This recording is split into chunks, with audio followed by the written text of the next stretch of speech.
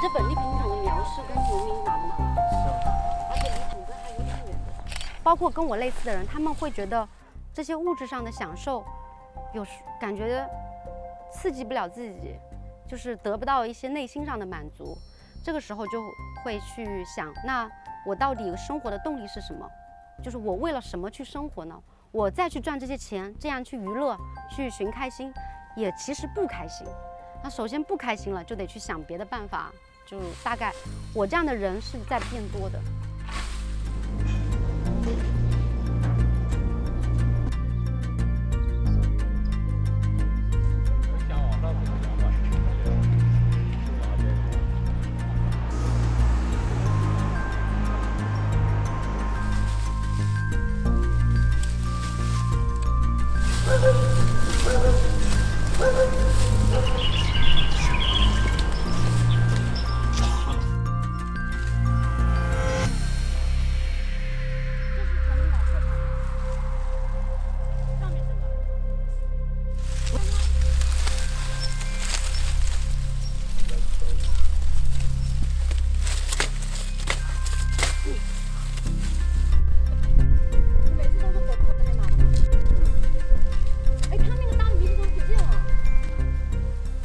我发现我走出来之后有，时候还挖。我觉得这些东西，嗯、这些东西对我来说都不是很重要，像房子、像车，我觉得我都我都无所谓。现在，如果像他们会担心，很多人可能就会担心，比如说我老了之后会怎么办，然后他们就拼命在挣钱。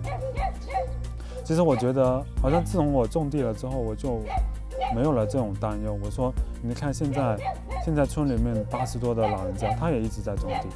我说他身体也特别好。我说你这些什么医疗，其实对于他来说，他们可能身体很健康，也不用怎么去看病。